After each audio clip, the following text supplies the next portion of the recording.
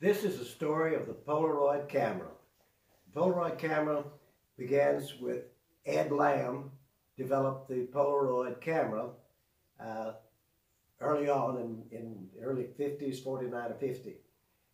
And I first met Ed uh, Land in 1961. Eisenhower chose the uh, Weapon System Evaluation Group to work on uh, the status of how good Russia and uh, the United States were during the Cold War. Uh, some of the work that Ed and I did uh, is still classified even today. And uh, I used the uh, uh, Polaroid camera in my QRC-49 project that I've talked about other times, among others.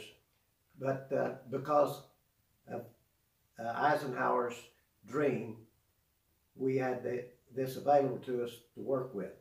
Now, during the uh, Dominican crisis, uh, I used it for the spy work.